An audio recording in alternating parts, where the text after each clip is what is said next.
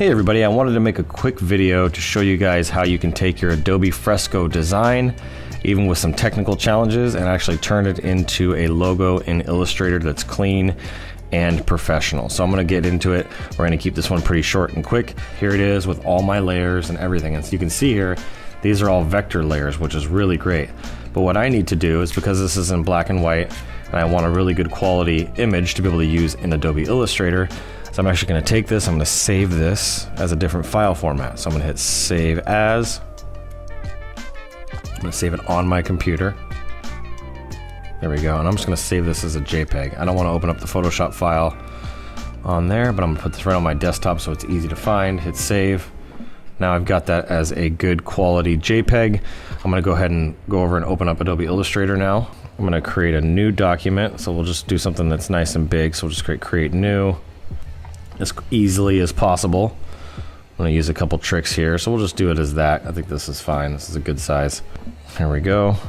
And then I'm gonna place that document that we just downloaded, the JHS Law JPEG. I'm gonna actually place it here on this document. So let me show you how to do that. You hit File, Place, there we go. JHS Law, there's the PSD, but I also saved it as a JPEG. So here it is. Go ahead and drop that in.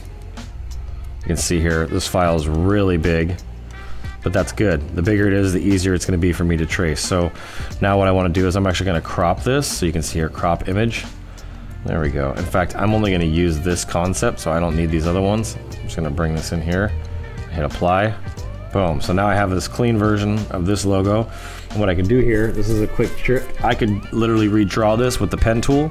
That's typically what I would what I would do, but because this is such a clear, good version, I'm actually just gonna hit image trace, but I'm gonna hit the little arrow next to it and hit one color, black and white.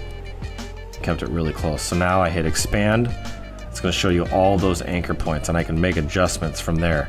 Now I'm gonna go back to my regular selection tool. I'm gonna hit Shift Command or Shift Control uh, G, and it's gonna ungroup it. You can hit it again to ungroup it again. Just make sure it's totally ungrouped. Now I'm gonna take this background and just delete it. There we go, I just deleted that out there. now you can see my outlines. So these are the outlines for the design that I have. And now I'm just gonna need to make some adjustments. So I'm gonna do a couple things. I'm gonna hit Command or Control, and I'm gonna add a little graph so I can see really, really clean behind me here. And I wanna make sure that everything is lined up. So I'm gonna hit Command or Control R, bring in my rulers, I want to bring this down. I'm going to make this really big and easy to see. There we go. Extra one in here. There we go. Delete that one. Bring this up just a little bit. There we go. And so you can see here, this isn't lined up. So I want to make sure that everything is clean and even, evenly spaced. So what I'm going to do here is I'm going to do the same thing at the bottom. Bring this down. This looks like it's almost exactly right here. Let me make this a little bit bigger.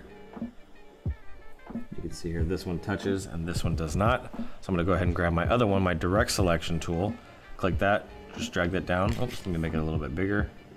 It'll make my life easier here. Perfect, so that's that right there. Same thing on this side, should be good to go. Yep, we're good to go there. So that's nice and even. Now I need to make sure that this is even. So let's line those up. I wanna make sure that this is even. That's pretty good. Okay, do the same thing here. Same thing here.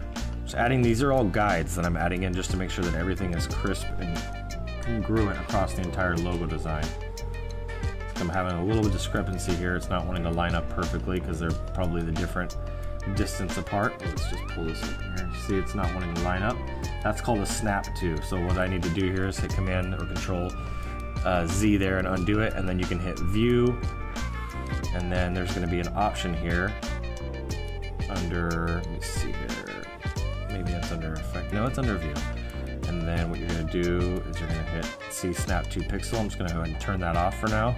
I'm to drag this out because it's snapping to one of them. There we go. So you can see here, this is nice and perfectly in line, but this is just a little bit off. So if I really wanted to, I can just take my direct selection tool, click right here, go up in here, do the same thing, hold down shift, and then bring this, I'm gonna click and drag and bring it in, there we go. So now that those are completely even, okay, and I'm gonna delete one of these lines, so I'm gonna click and hold this and pen tool, should be giving me an option to actually have the remove tool. There we go, let's see, where are we at? There's the pen tool. So what I need to do now is I need to delete. So I'm gonna hold down this and hit, see the little minus symbol there? I'm gonna get rid of that. I'm gonna click here, anchor point tool. These are the control handles, so I'm gonna bring that in because I want this to be nice and sharp and crisp. There we go. And then if I want to, I can grab this again, the direct selection tool, and bring this in more. Can hold this shift down to keep it in a straight line, so it's not going up and down, see it's in a straight line. I can bring this to where I think this is gonna look good. I want this to be even, so you can see here it's a lot wider than it is up here, so I'm gonna bring this back and try to find a happy medium. So I'm gonna hold down shift. Just gonna bring this to like right, about right there. I think that's about even. This is already starting to look a lot cleaner, a lot better. You can see here, once I get everything lined up the way I want it, I can kind of cut the grid off. You can see here, everything is very cleanly spaced, even now, the top and the bottom. You make sure that the top left-hand side matches the right-hand side, so it doesn't. So let me fix that, because I have this matching up here on the bottom, so we need to do the same thing on the top. Let's go ahead and bring that up. This, click on it. I'm gonna hold down Shift. It takes a little scrolling because it's zoomed in a lot. I'm gonna hold down Shift. There we go, and I'm gonna click, let go of Shift. I'm gonna click and drag and bring this all the way out there. There we go. See? And so I'm trying to get everything to be evenly sized. So you can see here, this is the width of that. I wanna make sure that the width of this is the same, so I'm gonna rotate this 45 degrees. Boom, right there. Make sure that this is the same size, so I can actually hit Command Y. See, looks like it's very, very close, but it's actually a little bit off. So what I need to do is just click this, and how I did that is I hit Command Y, and it shows me my outlines. So if you wanna try that, I'm gonna zoom in a little bit more, make sure I get this exactly right. See, it's kind of hard sometimes. There we go. Make sure this is lined up exactly on the line. There we go. That's how it's supposed to be, okay? So we'll bring that in. As you can see here, there's still some spacing issues. So I need to bring this down. I'm gonna grab my direct selection tool, grab this guy, and I wanna bring, make sure that this is the same at the top. And then Y, there we go. Okay. This is all even up. Take care of that, take care of that. I want to remove this here. Boom. Okay, so this is getting cleaner. As you can see, it takes a little bit of time to get everything lined up right. But once you have that, it looks really, really nice. It's getting better and better by the minute. And if I want to turn these guides off and on for some reason, let me just escape on that. I don't know why I did that. There we go. You want to turn these guides off and on, all you got to do is hit Command Y, or actually, I'm sorry, Command colon. There we go. You can see it right next to the L. Those turn it off and on. So now I got everything pretty much lined up. The last piece I see here that it doesn't look like it's all the way up yet is I'm gonna grab this one. Beautiful. There we go. Okay, so let's see here. Let's make sure that's matching up. Yep, those two sides match up now. So I pretty much got everything. It looks like the only thing that isn't matching up right now at this moment is this. So I wanna grab this, grab these guides in here. I wanna make sure that these are the same height. Okay. So I'm just gonna go ahead and click this. I'm gonna put an anchor point so I know where the tip of this is, or a guide I should say. So I know the tip of that is, and then I'm gonna actually adjust this. So I'm gonna click on this now. We're just gonna delete it. Let's see. So we're gonna delete this. We're gonna delete this. Oops. This one. There we go. And we'll make this, bring this down. Okay, so I wanna delete this, and I'm gonna add a new one back. What I wanted to do first was make sure that everything was evenly spaced, that there was nothing off here. So let me grab this guy, put that down, grab this guy. All right, so I'm gonna bring this up now so it's even as well. There we go. And then we're gonna stick a new anchor point directly in the middle. This is the middle section, this is the intersection. Oops. There we go, right there. So now I can take the direct selection tool, click on this, and bring it all the way up. And this should be even now, top and bottom. See that? Looks really good. The bottom already looks good. So this is already now done in black and white. I want to take it to the next level, which I've been wanting to do. I'll show you this real fast here. Okay, I'm gonna go ahead and group all this together. Go over to my layers over here on the right, actually duplicate this layer. So I'm gonna hold it and drag it and bring it right in here to the plus symbol. It'll make a copy of it, turn this one off, and I wanna lock it. I just wanna save that, because that's kind of like my original, right? And if actually, if you look in here, I forgot to take something out. This guy, this guy never left. So I wanna make sure real quick before we save it and move on to the next step that we actually did all of that. So this looks like it's a little bit, needs to be a little bit wider. Let's see.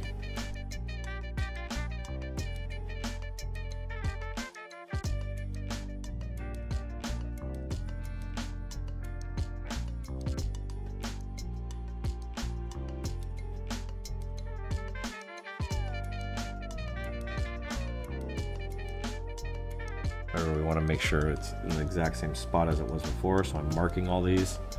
Okay, now if you look at the direct selection tool, you can see here, got some issues going on. So let me just go ahead and delete this guy. Boom. We'll delete this guy. And I want to line up these two anchor points here. That one goes there. That one goes, whoops, let me bring that back down. Perfect, and I'll just cut that arm there. Cut that arm there, just to make this nice and straight.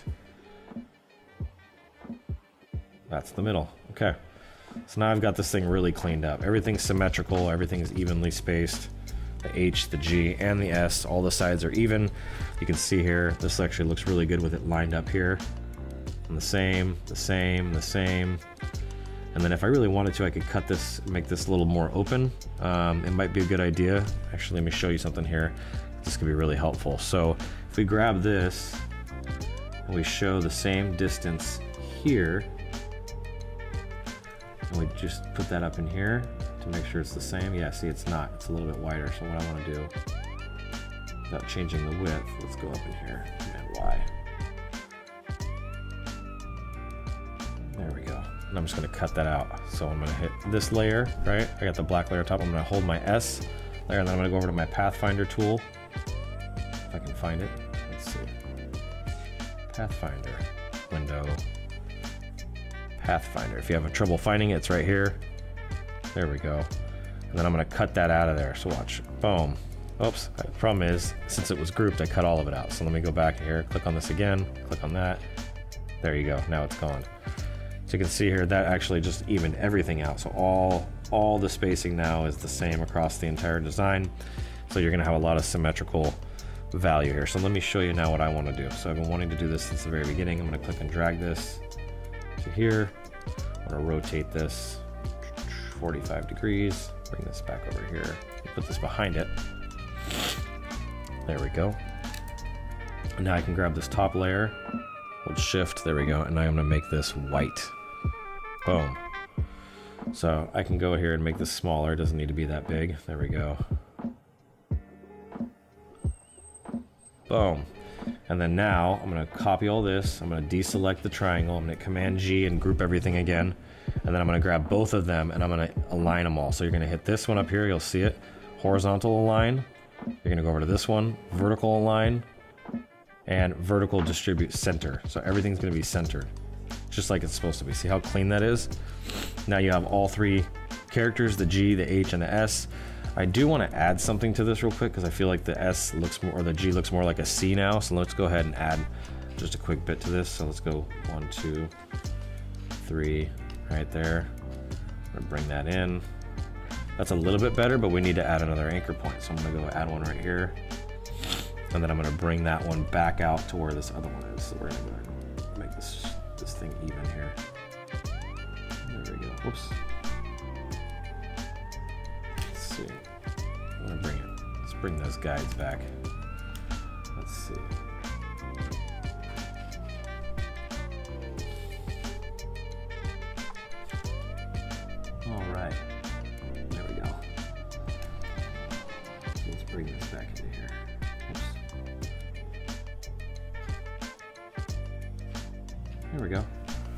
Actually, you know what? I can see an opportunity here, so let's bring that in. Boom. What do you think? I think that looks pretty nice. So command, there you go. Get rid of that. Now that looks like a G. That's what I'm talking about. Okay, so now that we have this all set up, I got the illustration. Now I need some typography to go with it, right? Not just the logo mark, but the text mark. So I'm gonna make this a little smaller. I'm gonna find a font that's similar to what they're using now, but probably better. So let's go look. So their current website is gotinjury.net. You can see they're using, let's see here, let me just copy this. I'll just paste it right into the document. Oh, we're gonna have to put a black background behind it, so let's do that real fast. And then we'll just select right here. Boom.